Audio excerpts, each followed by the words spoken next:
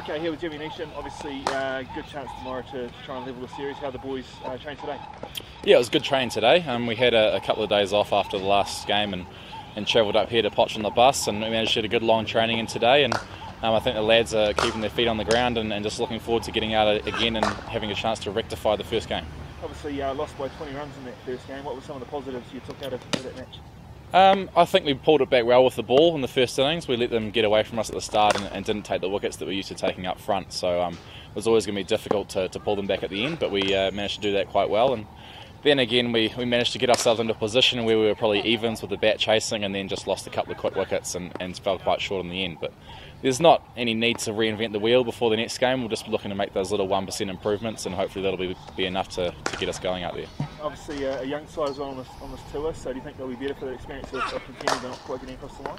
Yeah, absolutely. I think yeah, with the, the, young guys we have in the team, there's not a whole lot of experience, especially foreign conditions. So it'll be a good confidence booster for a couple of the lads to, to perform reasonably well and foot it with a good South African team. And, and now it's time to put those learnings into practice and come out firing in the second game.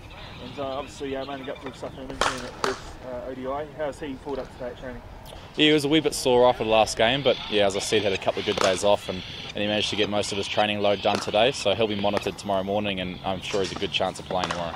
And in terms of uh, obviously forcing this uh, to a decider, it's, it's obviously a goal for the team, and, and uh, everyone's very much up for it. Yeah, absolutely. Well, we made no bones about it when we came over here that we wanted to win three series, and managed to get the first couple out of the way quite well, and, and now hopefully we'll be able to level the series to Potch, and then obviously after that look to the, was the third game.